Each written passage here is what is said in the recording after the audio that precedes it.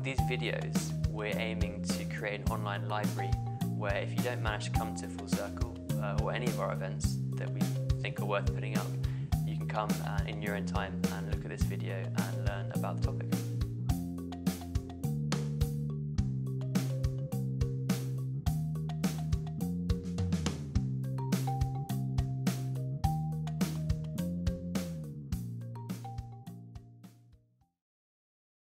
Okay, good afternoon, everyone. Uh, so I'm Gabriel from Daterra, and most of the times that I come to the UK to talk about coffee, we like a lot to talk about the experimentation towards developing new flavors, new taste, and today we have a very a kind of different focus. So Henry asked me to talk a little bit about the soil microbiology research that we have been developing at Daterra. And actually, I think that this is a quite trendy topic because uh, many people before me talked about this. Uh, but also, I think that's becoming trendy because it's something that's so important and maybe not only coffee, but agriculture in general has ignored that topic for so long because we were, were looking too much to what was above soil. And right now, we are seeing that the the way that we can actually uh, keep sustainable and keep producing whatever we are producing is but actually looking what's underneath our feet. So that's why I'm going to share with you a little bit of our research on that. But just to give you a, a quick introduction of what is Daterra for those who are not familiar with our farms. Daterra is a coffee farm in Brazil, uh, in the Cerrado region in the Minas Gerais state. Minas Gerais state is the biggest producing state in Brazil, and it has three growing regions. One of them is Cerrado. Cerrado actually, it's a very interesting land because if you think about Cerrado, 80 years ago, there was no coffee there. And because we actually started to study agronomy and we started to develop new techniques through science, uh, agronomists made Cerrado a land that actually could produce a lot of coffee, and today is one of the biggest growing regions in the country. Um, so, but what, I, what am I going to say today when it comes to microbiology of the soil? When, when we think about soil microbiology, it's really related to sustainability, to ways that we produce coffee more naturally, in a more environmental friendly way, but also it can be related to the production, it can be related to uh, creating a new agronomy that actually guides us to the future of agriculture. So I like to start this conversation by showing this ladder here. Um, when we started Daterra,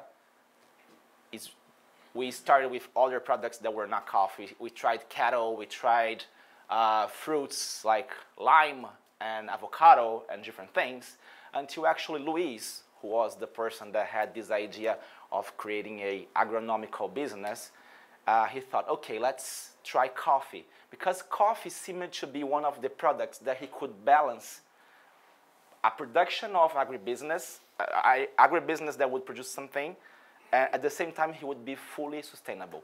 And this word sustainability didn't even exist when he started. This was uh, a little bit above 30 years ago. And at the time, we didn't know how to produce coffee because Luis and the, the Pascoal family, they didn't have any tradition in agriculture. Actually, they have other businesses in Brazil, uh, and the biggest business that they have actually fixes cars and changes tires. There's nothing to do with coffee. But he had this dream of having a business that could be more environmentally friendly, and agriculture was that, and coffee. So at the time, there was no certification for coffee. So I mean, there were a few, but not really for coffee. They were for, for environmentally friendly uh, techniques. And what we had to do at Terra, because we were born not to be a coffee farm, but we were born to be a agribusiness that could actually give back to the planet, Luis and Leo, uh, who was our general manager at the time, they sat down together and they wrote their own certification. So this is actually a letter that was written in 94 when uh, they were discussing what would be the standards for Daterra to keep producing coffee for the next years. So this was 94, and no coffee certifications were available at the time. This was what actually guided them for many, many years until in 2003, we were the first Rainforest Alliance certified farm in Brazil. Uh, and we are very proud of that because for us it was very clear that we should be doing those things. And actually, recently we discovered this ladder that we didn't even know that existed, but this really shows that taking care of the planet was something that Daterra was born up on that base. Um, so our dream was not only producing coffee, but producing coffee for a better world. And how to do that? We had to come up with very creative techniques to, to produce coffee in a country that was not really respected for, by many factors. First of all, Brazil was always considered a, a country that was producing high, high volumes with very low quality. Second of all, uh, in terms of the government fiscalizing what people were doing, we were not very good at that at the time, and today maybe improved a little bit, but still, uh, it's something that we are not very, very good at. And also, in terms of environmental techniques, Brazil had this tradition of producing as much as possible and giving back as little as possible. So how could we create our, our own strategies? To create Daterra, we invited a university that came to the farm, and they were uh, agronomy students that were starting to study how to do more natural techniques for growing coffee, growing different agri products, and they used Daterra as their lab. So they were, they were experimenting inside the farm different techniques to, to create a balanced environment for the Brazilian reality. So we have to remember that Brazil has some very specific ways to grow coffee that are different from other places. So we cannot compare Brazil to Honduras or to Colombia or Costa Rica. Uh, each place has its own way to be in balance and to produce something at the same time. So all of this was considered from the very beginning. And after much, much work, uh, and we were very proud to be recognized three years ago as the most sustainable farm of the country. So the biggest um, media uh, communications channel in Brazil, they were looking at all agricultural farms, all, all, everything. They were growing coffee and beans and cattle. So they were trying to find what was, which was the most sustainable farm in the country because everyone was talking about sustainability. So what did that mean? And they chose Daterra among all the products and among all the farms.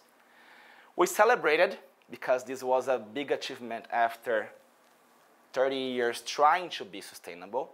Uh, but we celebrated for very short because at the same time there was a big problem and a challenge for us. For example, when uh, an athlete uh, goes to the Olympics, they, of course, always want a gold medal. So if this athlete goes there and he gets the third place, Next time he goes to the Olympics, he's gonna try harder, and maybe he gets the silver, and maybe the, thir the third time he goes there, he gets the gold, and what he does next? Gets the silver. He retires. he retires. So achieving the first place could be a problem for us because we were born trying to be sustainable, trying to give back to the planet. And then after 30 years, we, are, we achieved this recognition that actually we're the most sustainable farm of the country. So this can be a very good recognition, but at the same time, it can make you just accommodate. And if you think that you are in the top, you can just retire. And if you retire, you are not doing your job anymore. Uh, so Luis, he's a very unquiet person. he, let's put it like that he started to think, okay, how can we create the new chapter of sustainability of Daterra? We have already developed some water recycling systems. We have already developed wildlife corridors. We have already tracked the whole fauna and flora of the farm. We, had, we have a foundation. We take care of the community. We teach women how to drive tractors so they increase their, their pay and they help their families okay, but what can we do that can be a big statement for the whole coffee industry and actually help other people to produce coffee for the next 50 years or even more? So that was, that was when the Bioterra Academy was born. What is the Bioterra Academy? It's a think tank where we try to find new solutions, more natural solutions to grow coffee, and in a more sustainable way, although I think that sustainable might be a little bit of a small word, uh, small word to define what this is. The idea is actually creating the solutions uh, in a very scientific way, in a way that actually other producers can understand, so we can actually share this information with the whole industry, and for the future, we have more specific solutions towards soil microbiology. Um, so just to give a few facts about soil, because as you have noticed, many people came here and talked about soil. Why everyone is talking about soil? Why soil is this hot topic at the moment, not only for the coffee industry, but everything else? First of all, uh, there are many studies that show that we are not going to be able to feed the world uh, by 2050 because the population increased so much and soil is being depleted all over the world. In Australia, uh, for example, is one of the, land, the, the, places in the world that loses more soil in the world. 10, uh, 10 million hectares are lost per year. So, that's, sorry, 10,000 hectares are lost per, per year. That's a lot of land. So if you put that in the long term, that could mean a big, big loss.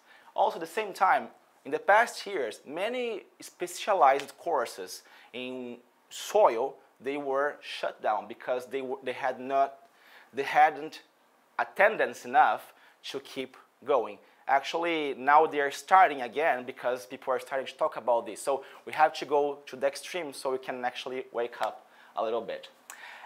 And another thing that is interesting and makes soil a very hot topic is new technological scientific ways that we can that we have now they are more recent and that we didn't have before that actually allow us to look at soil in a different way that we didn't look before. And what is this? So when you think about soil in a very simple way soil is three main things. So we have the chemistry of the physics of the soil the chemistry of the soil and the biology of the soil uh, those are the three aspects that actually will make these things that this thing that we step on and things grow on it.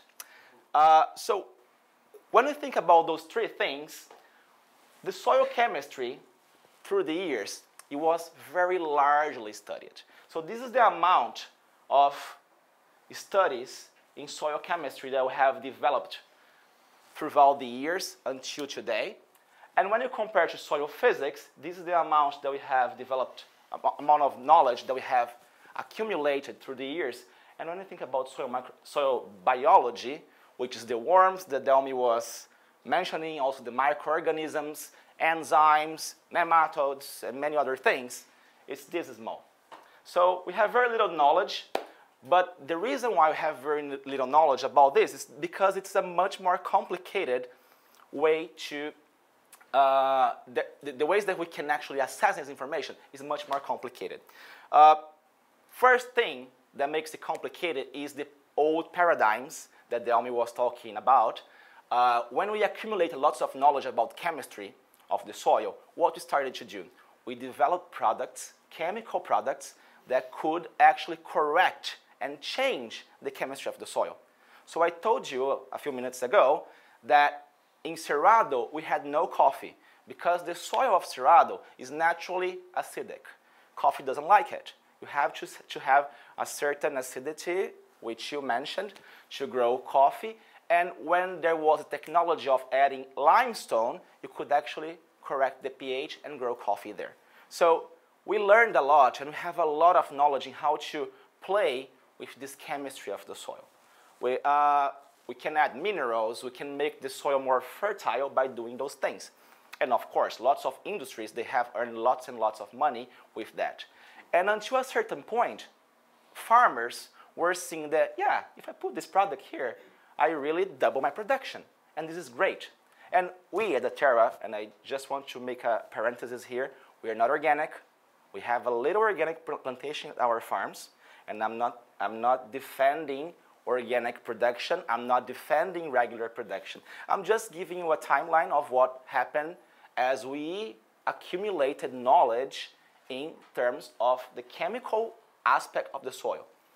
And there was lots of investments in that. Because if you think about agriculture, it's one of the industries that generate more, a, a, huge amount of money in the world. And even for developing countries there are in a very bad situation like Brazil, it's the only thing that keeps the country alive. So lots of money was dedicated for this piece that seemed to be the big solution to grow any kinds of agri-products. Uh, the thing is, another thing that made it complicated is the proportion of the biology of the soil compared to other things. So if you think about the, the mineral part of the soil, if you get a, a, handful of soil and we divide all these different things that will make it, uh, mineral and, and, the mineral matter, matter is 45% of this handful of soil. Uh, air can be oxygen and other gases that are out there and we're breathing right now, is 25% of this handful of soil. Water, and of course it varies depending on how moist your soil is, is about 25%, and then this, depending on how much more water you have, less air you have, so they, they exchange in according to the moisture of your soil. And then you have this little piece here that is the, the organic matter that will also contain the biomass, which are which the live part of the soil. So if you look at this handful of soil and you see that this little piece here is actually the organic matter and even smaller is this the part that is alive, why caring about those things? It doesn't it might not have that much importance as well. It's too small. But uh, it looks small, but if you think, if you get my boot here and we scratch all the dust that you have in it, you're gonna have like less than a gram of soil. This already contains more live microorganisms that were living in the soil that I stepped than the amount of stars that we have in this galaxy. So it is very small, but when you think that way from another perspective, you have more things living in this little uh, amount of soil than the stars in this galaxy, which we struggle with the technology that we have today to access. So it is small, but it can make a lot of noise if you know how to treat it well. Uh, so just to give you a, a little perspective in numbers uh, about what, are, what is this living part of the soil? So we have bacteria, fungus, archaea, algae, protozoa, nematodes, arthropods, worms, the little worm that was happy in the end of the presentation that Dylan made today. Yeah, and many other different things. What's that? The sexy worm. The same asked me for the name, so I don't have the name. you can call them. Okay. so uh, there is a universe, literally, uh, of living, organi living organisms that can actually be in this, in this soil. And why is that important? Because those are organisms, they eat, they breathe, they generate substances that can actually, that actually can relate to other microorganisms that actually can relate to our organisms to the organisms of the plant and create effects that we have no idea how powerful they are. Just so you have an idea uh, of how this is possible, if you get two rats, and these are actually actual scientific experiments. Two rats, they are twins. They have the same genes, the same DNA and everything. And you get these two rats, laboratory rats, and you get another fat rat or the a, a fat person, obese person, you scratch a little bit the stomach of this person, or the saliva or something, and you give to one of the rats. And then you get a healthy person, it can be a human being, you scratch the stomach of this person, get the microorganisms there, there, or even the saliva, and you give to the other rat, and you wait. What happens? One red is going to grow to the sides, and the other one is going to be very healthy. That's how powerful the microorganisms can interact with animal bodies. Same thing happens to the plants. The thing is, it's harder for us to realize that. So nowadays, many, many treatments that are being recommended by doctors, for example, they are actually very much related to creating a more balanced flora of microorganisms in your tummy. Why is that? And it's pretty silly and has been going around forever, but this is uh, something that's very efficient because these microorganisms, they can actually produce substances that cause reactions in your body that will make you want to eat more sweet, for example. Or if you have the right microorganisms, it can make you want to eat more iron because your, your body is lacking of it. So this happens with us. Same thing happens with the coffee plants. That's, or any plants. That's why it's important to understand those things. Uh, on top of that, why is it important to understand those, those things? Because soil can be a much bigger solution for many of the problems that we have, not only in agriculture, but in the world, and we have no idea about it. For example, we talk a lot about global warming and uh, how to sequestrate carbon and credits of carbon and things like that. So besides all the nutrition part of the plant, besides uh, all the all the water that we can retain the soil because we have other plants like you guys were saying before me, if we have smart ways to, to, to conduct our soil, we can actually sequestrate more carbon. We literally get the carbon that is out there in the atmosphere and we put it back in the soil. Because that's what one of the parts of the soil is formed. So this can be also a very good solution to stop, not to stop, but to mitigate global warming. It's not only good for the plants, it's good for the planet in a bigger picture as well. Uh, so a good soil promotes biological balance, uh, it re regulates the plant growth, it, produ it produces humus, humus that's gonna really keep this, this moisture in the soil, aggregates and structure the soil, uh, makes water retention, Con uh, it conserves the soil as well uh, from erosion and runoff of water, as you were saying. It protects the plants, and that's something that I, I want to, I will explain further. But if you have a healthy soil with healthy microorganisms, the bad microorganisms, the ones that can cause disease and problems, they won't be able to get to the roots of the plants and cause disease. And that will actually, in the long term, make you need less chemical treatments because you have the right microorganisms just working in your plants. Same thing that we were saying about the healthy, healthy tummy. Um, also, it helps cycling nutrients. What is that? Some nutrients that the plant needs, the plant cannot access by itself. The microorganisms, they have to break those nutrients down and make it available for the plant. So if you don't have the microorganisms that are gonna do it, for example, just putting nitrogen is not gonna be effective if you don't have the microorganisms that actually are gonna make this, this nitrogen available for the plant. So I can put like a ton of nitrogen there and nothing's gonna happen. Uh, and also it helps mineralization, same thing. The minerals that compose the soil and are important for the plant. A healthy soil that has lots of life in it will be able to break down those minerals and create this rich soil. But why, another reason why we were not looking at those things, because we had a lot, lots of difficulty and we had no, no effective means to actually get this handful of soil and isolate those bacteria that were there because science would not allow it to us. So, for example, until uh, probably 20 years ago, when we wanted to analyze this handful of soil and see what bacteria are here, what, what is the living part of this soil, how can I see that?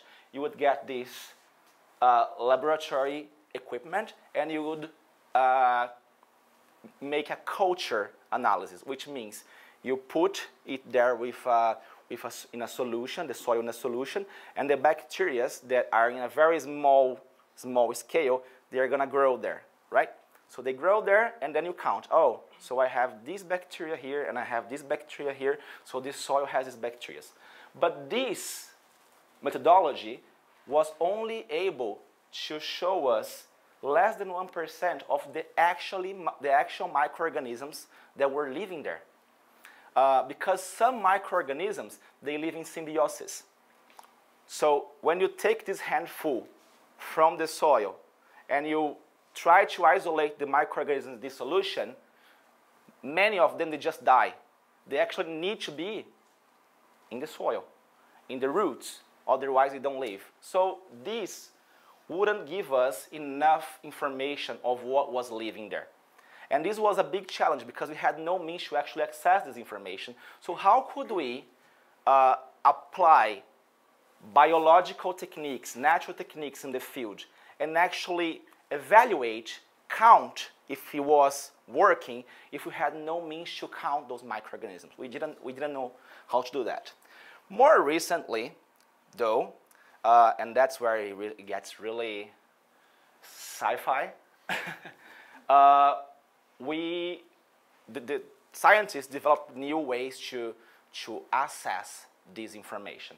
Now there are some uh, not culture independent methods that are not going to use those regular uh, growth of those cultures of microorganisms. Now we can actually isolate the DNA of the soil, which means regardless if the, the bacteria they're alive or not, you get this handful of soil and you can see, track all the DNA of any creatures, micro creatures that were living there. So you know exactly what was living there before the agronomical techniques that we are applying now, and then we can keep tracking that over time to see how it developed.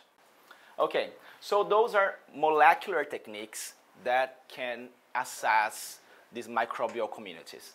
So that's how it's done now. What is the downside of it? Uh, the downside of it is that it's very expensive. Not many labs around the world, they have access to this kind of technology, especially when you think of producing countries. So we can create some techniques and apply them to the field. And in a very empirical way, until this moment, that's what we have been doing. In a very empirical way, you say, oh, I used this uh, natural fertilizer, and it looks like the tree is healthier and producing more and happier. But what actually happened there? Is that the right formula? Can we do something different? Can we adjust this here? We could not do that until now. Um, so again, this is very expensive. There are very few universities in the world and labs in the world that can actually do this kind of DNA tracing.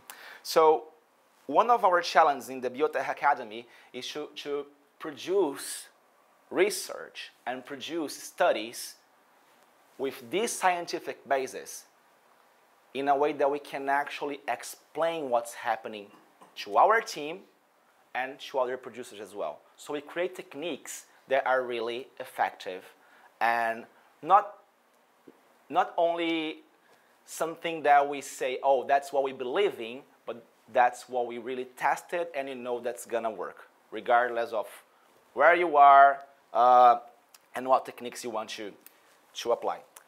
So just to understand a little bit of what I, I said before, how these microorganisms, they will uh, interact under the soil with the plant and cause different effects.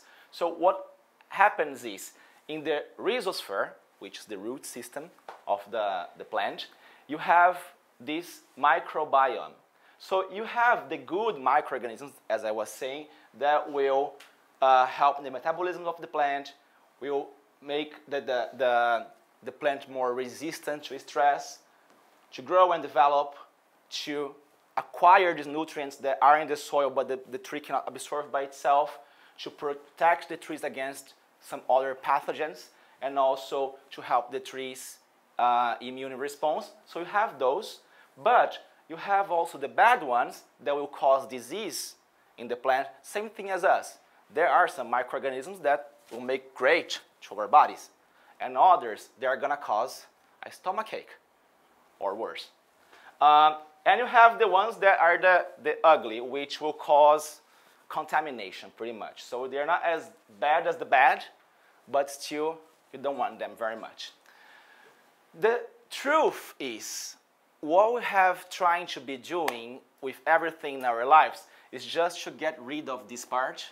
So, okay, I have a pest in my field. So let's spray. Let's, uh, let's kill all the insects that are killing our crops. The truth is, you need balance. So you need those guys to exist.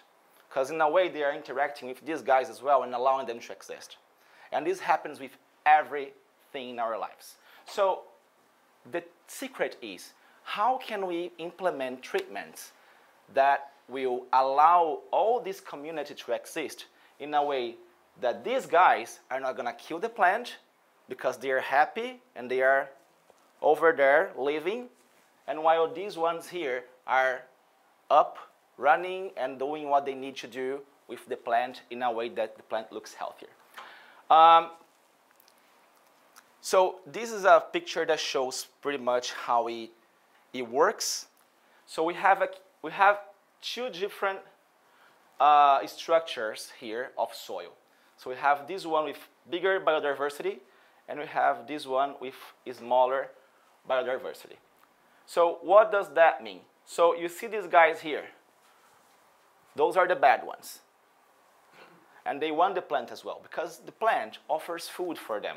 The plant will, uh, will release some substances in the soil. They have the sugars and different things that the chemical substances that the, the microorganisms will need to survive. They have to feed as well.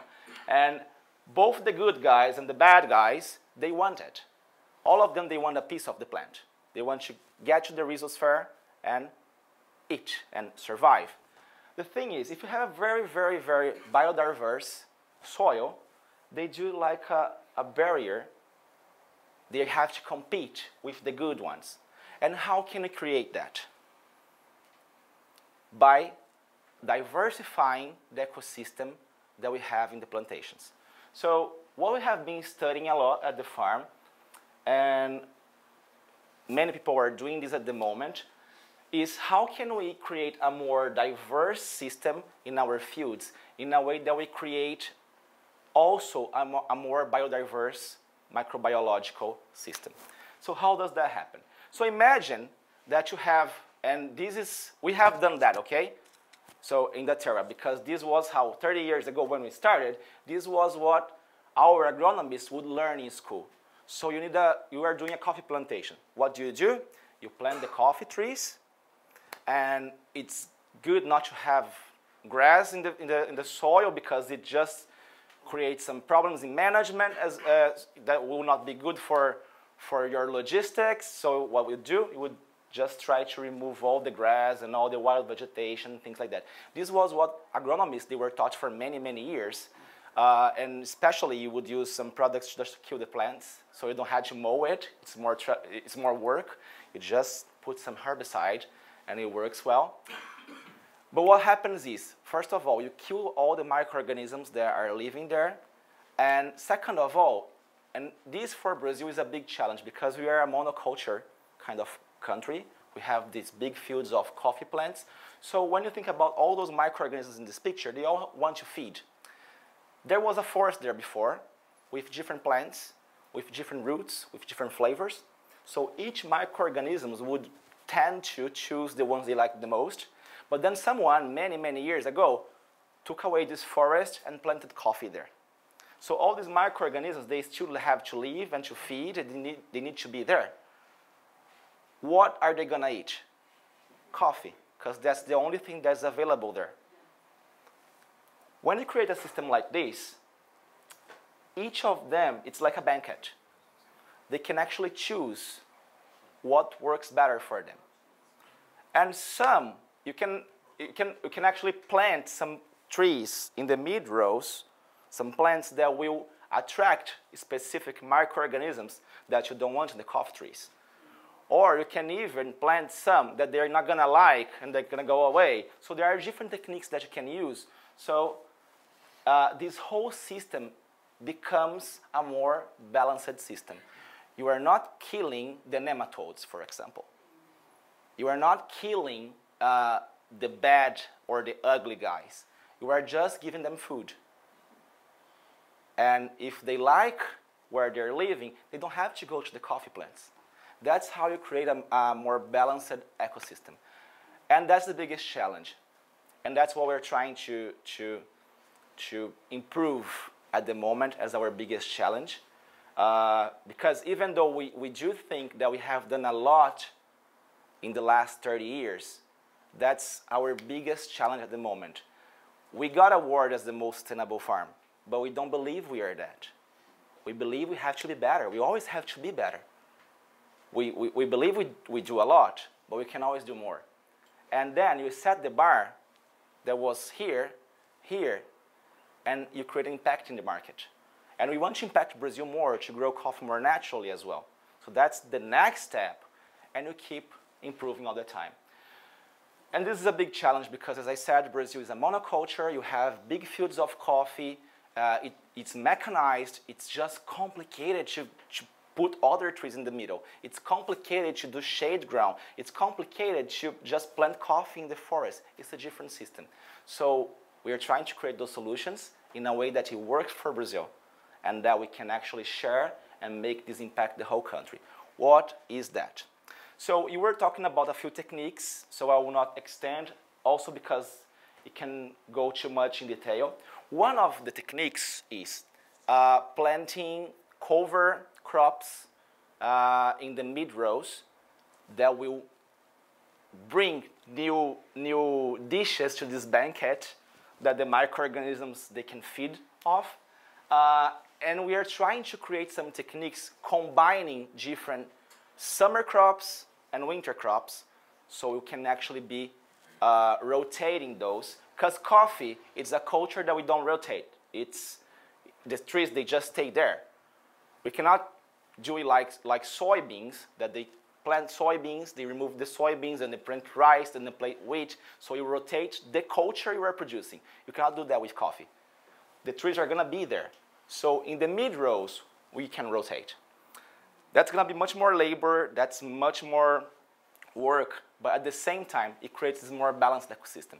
So in the summer, use the Crotalaria, for example, uh, which is also a leguminous tree that helps fixing and bringing nitrogen to the soil, which is great for the coffee plants. So you can reduce the need of chemical application of nitrogen. Uh, it stays in the summer in the, in the field we mow it, and this becomes uh, a coverage for the soil that's gonna retain more water and also becomes uh, organic matter that's, that's also gonna give back some nutrients to the soil. Uh, Cajanus cajan, I brought the scientific names of those plants because they have very funny Brazilian names that probably don't translate literally in English. uh, was that yeah, so the Janus Cajan is another one also for summer crops. Uh, and this is the regular area. So everything that we are doing, we are trying to combine different uh, cover crops in the summer and in the winter. And we are actually, and that's the difference because we have, we are consulting with many people that have been doing that. But the thing is, nobody has the scientific aspect what microorganisms are develop, developing when I plant Cajanus cajan, and what microorganisms don't like it.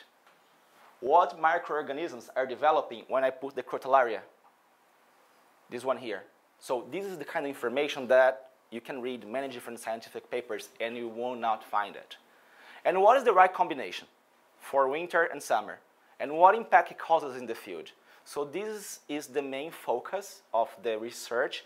And now, again, we have the means to do that. We have the technology that can actually trace the DNA of the soil and tell us exactly what is happening at the soil in the microbiological level. So uh, I was just showing this one, Avena strigosa. This is for winter. And Vicia craca is also for winter. And we are combining with other ones that I, I just brought a few of them for you. Those plants, they are planted in the mid-rows. Uh, after, depends on the areas, five months, six months, we mow it and we incorporate this. There's another message here. It's gone again? Okay, yeah. Uh, and actually looks pretty as well because you have all these flowers in the mid-rows of the coffee plants. This is another one also for winter. And in the end, we can mix and match and see what we are getting as a result. This is, this, this is gonna be the third year that we are doing this. We expect to have more solid results from the fourth year onwards because anything that you do in the agronomical aspect of things, especially when we talk about coffee plants, they take some time to, to adapt to this model and also to replicate some behavior. So you really have to analyze for many, many years. You were talking earlier today about developing new genetics material, which takes 30 years. So having some results here in four is actually quite short. We are uh, uh, quite uh, lucky here. What are the, the results that we are getting so far? Uh, we have been analyzing these different treatments, not only from the agronomical perspective, but being from a specialty industry, we also want to understand how that impacts the flavor profile. Is any of those things really impacting the quality, the final quality of the coffee? In these first two years, we have been cupping these coffees, the regular areas with no treatments and the areas with the different treatments. And so far, uh, the, the cupping profile is stabilized. Let's see how it goes in the future. In terms of uh, the combinations to generate more diversity, bio microbiological diversity in the soil, there are a few treatments of winter crossed with summer intercrops that are looking better at the moment, which are the Cajanus cajan with uh, Avena strigosa. So that seems to be what works for us. And what we want to do is, how can we actually test the same techniques that we see that we work, they work in different areas so we can actually create uh, recipes that we work for other producers as well. Because what we feel is that this is the kind of research and study that is not important only for Daterra. We have accumulated a lot of knowledge through the years, uh, and we, we feel that Daterra, being a big farm, has a responsibility to actually cause some positive impact in the world.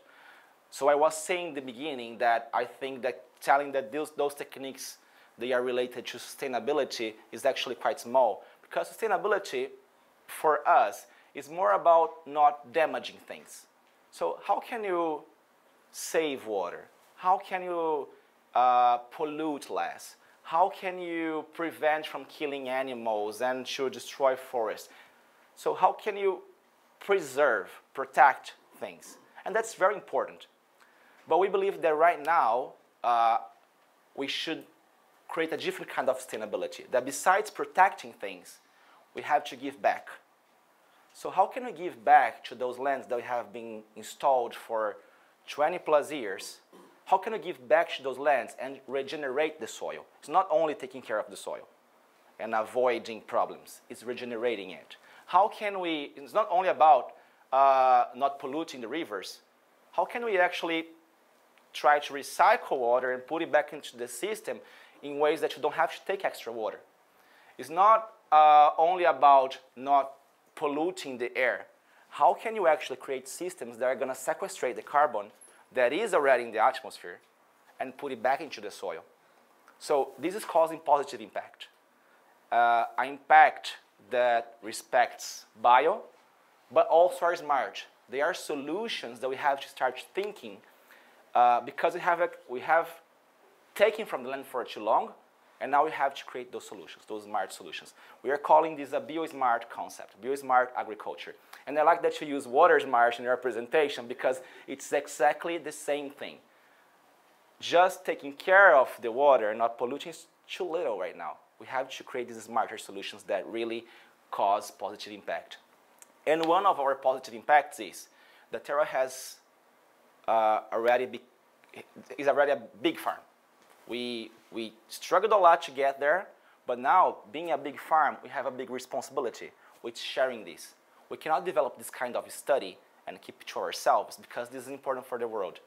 Uh, so all of these studies and all of those researches, they'll be posted online and any producers in the world, and we actually ask each of you here to, when we have the results, we don't have it still, to help us sharing all of that. And we are looking for partners to test those techniques in different places.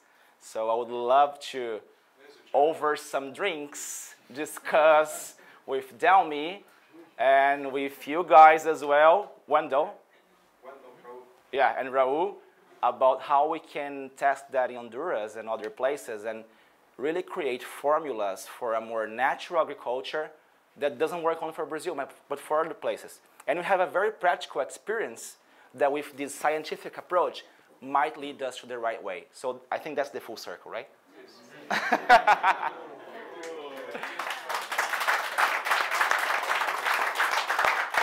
Uh, but, but seriously, uh, coffee industry is great because it allows this kind of interaction that we don't see as much in other industries. So this is what we have been doing as one of our main ch challenges at the moment. Santiago asked me later, is it true that Daterra is going to become organic in, in 2030? and I said, why you're saying that? Where did you get that from? And I, I told him that, no, we don't, we, I cannot answer that. Our objective with this is not becoming organic. Our objective with this is creating an agriculture that makes more sense for the challenges we're going to have in the future. Yes, there is a lot of organic going on, and I actually am a consumer of organic myself, so I'm not, please don't take it wrong. Uh, if you think about Denmark, for example, they have a specific commitment from the government to turn the whole country into organic until 2020. This is going to start reverberating in other places. I gave you 10 years. Was that? exactly. Uh, so maybe people are going to be looking for organic more and more in the future. But regardless of that, maybe in the end of this study, what we realize is that we don't have to be organic. If the plant is sick, um, maybe we can go there and apply something. Because I'm not a person that likes medicines, but when my head is aching too much, I take an aspirin. So this, our objective here is not to become organic. It's become more fair with the environment where we are, uh, and actually to give back to the, to the lands, to restore the lands where we are and to share that with everyone else. If that becomes, that comes to being organic in the future, this might happen, but that's not our goal. We just believe that we should take the next step to sustainability. And we're looking for partners.